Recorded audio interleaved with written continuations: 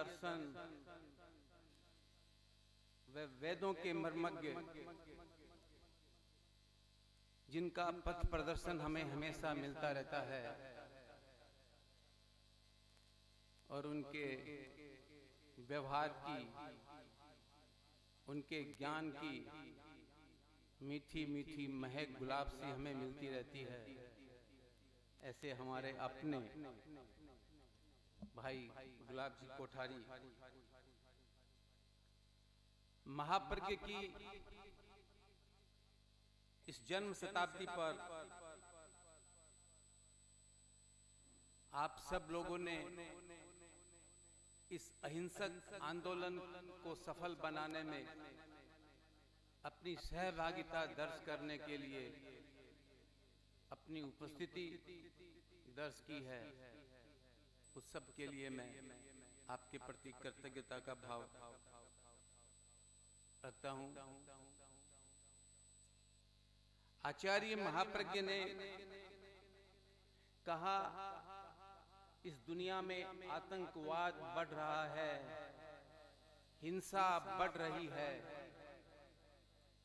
हिंसा की ट्रेनिंग दी जा रही है, लेकिन अगर हमने ऐसे समाज का निर्माण नहीं किया जहाँ से अहिंसा की ट्रेनिंग दी जाएगी। तो आने वाला समय लोगों के लिए बहुत मुश्किल का होगा।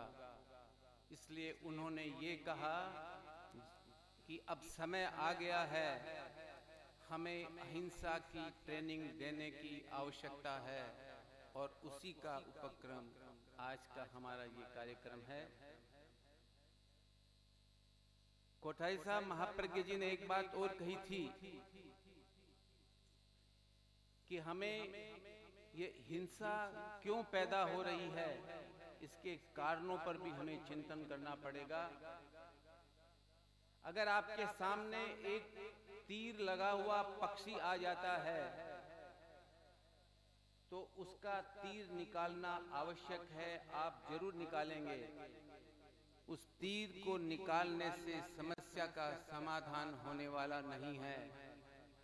जब तक हम उसके कारणों की तरफ़ नहीं जाएँगे कि ये तीर किसने चलाया, क्यों चलाया, जब तक हम कारण की खोज नहीं करेंगे तो आज आप एक पक्षी को बचा रहे हैं, कल दूसरे पक्षी पे भी ऐसा व्यवहार हो सकता है। तो आज का हमारी ये कॉन्फ्रेंस कि इस हिंसक समाज के अंदर अहिंसा का विकास कैसे हो? हम बच्चों में और नौजवानों के विचारों में कैसे परिवर्तन कर सकते हैं? इन्हीं उद्देश्यों को लेकर आज की ये कॉन्फ्रेंस आयोजित की गई है। इसका जो मक्खन निकलेगा, इसका जो मंथन होगा, वो निश्चित रूप से समाज और राष्ट्र के लिए एक निशान होगा इन्हीं भावों के साथ। आप सबका मैं पुनः हार्दिक स्वागत करता हूँ। आपका सहयोग ऐसे ही मिलता रहे। माननीय स्पीकर साहब के प्रति बहुत बहुत कृतज्ञता के भाव। And truly, your insight was something which will prove out to be a wonderful outtake for today's inaugural session. That is, whenever we need to fight with any evil, we need to go into the root cause of it. The moment we are able to find out its root cause, we all start, we find ourselves doing some or the other action to eradicate it. Thank you once again, Sri T.K. Jain, sir. And now, moving ahead, I would like to cordially invite Dr. S.L. Gandhi, sir, to kindly state forward to deliver his address on the occasion of the inaugural function of this 10th ICPNA. Gandhi, sir, has been the backbone of Anuvibha as well as truly the backbone of all these ICPNA conferences. He is right now the international coordinator of the 10th International Conference on Peace and Nonviolent Action. He is the international president of Anuvrat Global Organization. He has traveled extensively delivering keynote speeches at various international conferences. It's my honor and privilege to invite Dr. S.L. Gandhi sir to kindly step forward to deliver his address in front of the August gathering. Thank you. Sir, please.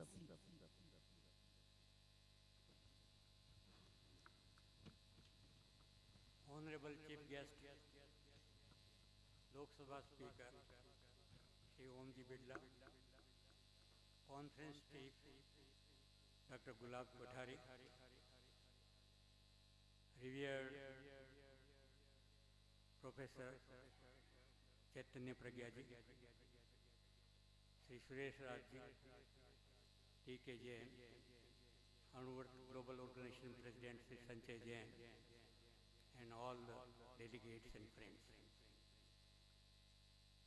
It's a matter of great joy that we have assembled once again to discover the causes of violence and ways to transform humans and children, youths, so that they may switch over to a non-violent lifestyle.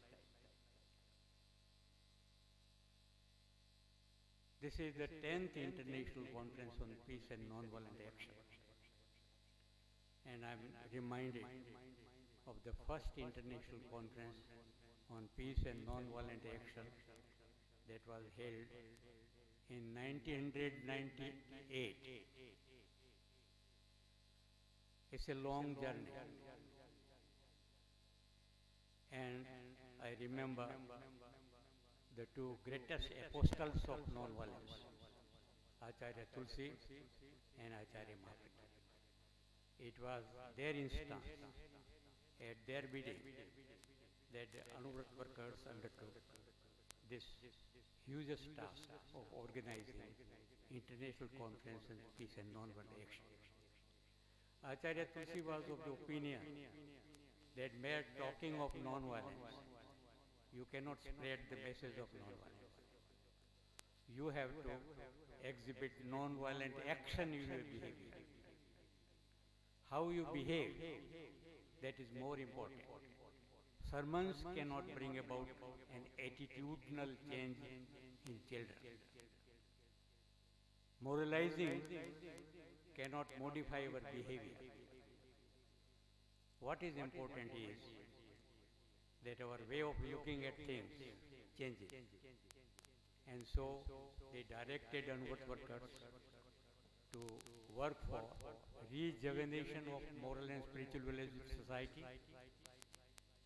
The decadence of these values is responsible for all the conflicts, for war, for terrorism, and for all those frightening things that we in society feel.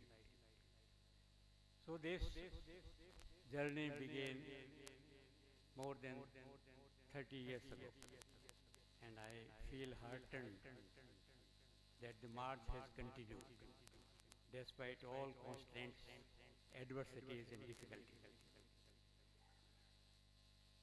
In these conferences, hundreds of overseas and Indian delegates participated. They continued the legacy of peace and non-violence bequeathed to us by the two great apostles of peace and non-violence, Acharya Tulsi and Acharya Mahapragya.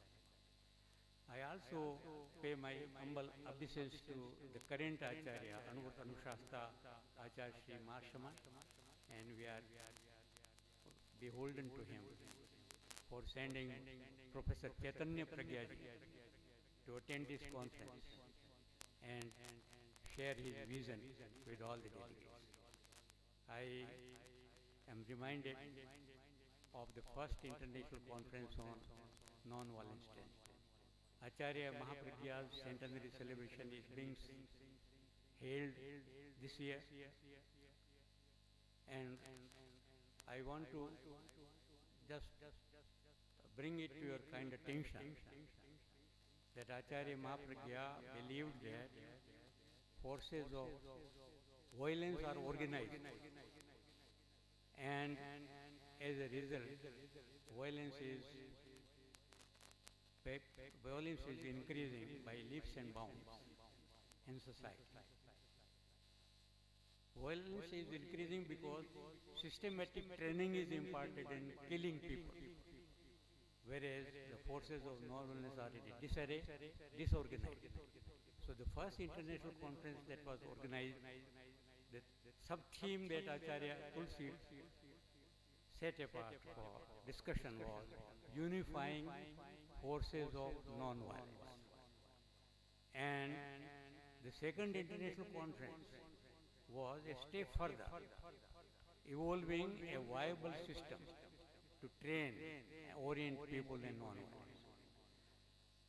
Without imparting training in non-violence, we will never be able to achieve the objective of a non-violent society. Training is a must.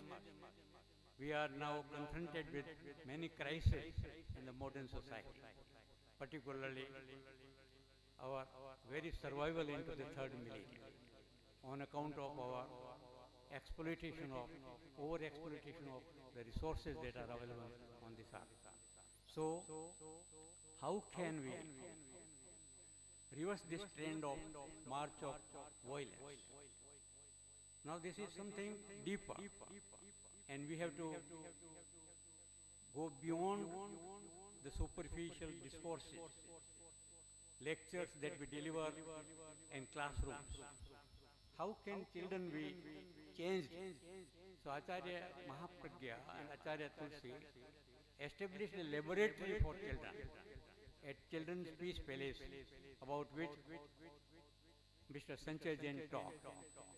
At Rajsamand, we have a small laboratory where the children stay there for about two weeks, one week, three days, four days, and when they go, they actually are internally transformed. They will be responsible future citizens of society. So, Acharya Mahapragya developed a complete course of training children and youth in non-violence. And uh, glad to inform you that you have in your kit got the book written by Acharya Mahapragya, translated by me. That is Non-Violence Training Theory and Practice. That will be our guide during these three days when we organize various plenary sessions to discuss and the ways to carry the legacy of that great man who was so concerned about the spurt of violence in the world that he devised not only preksha meditation but also developed an art of living called Jivan Vigyan which if we train children in Jivan Vigyan they would certainly become responsible, disciplined citizens of the future. We are living in an age of, of uh, fast means of communication, transport and development.